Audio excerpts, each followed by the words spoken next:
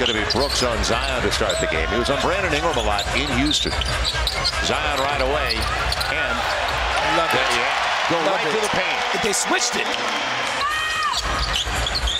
Zion right away against Dillon Brooks. Inside out, had a good look. CJ. And, and you know what you said, Joe? You said inside out. Right. So it touched Zion's hands first.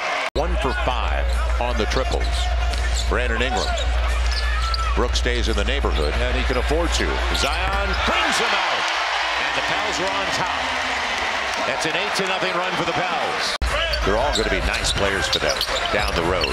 Nice pass, and It has here to it goes. Yes, Nice. count it. Naji didn't quit on it. Naji and, and Zion and got the switch. It's an excellent read by Zion, but heck of a finish by Naji as well. A surface shot. So anytime you get the defense to lead their feet, He's in there for defense, rebounds, and, physicality. Zion all the way to the hole. and you can see he has Tari Eason's head on a swivel. So let's see what adjustments they have also made, and they give it away right away. Zion saw that coming. Herb and Brandon's got Van Fleet, but he sends it out to CJ. Uh, Zion against Dillon Brooks on the spin and the float. Gets the roll.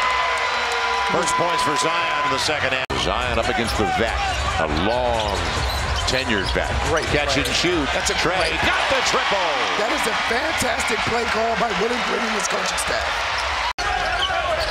Trey sets the pick. And Zion got by him. But all the way to the hole. It's the same play, but they switched. And now on the switch, it gives Zion space to operate.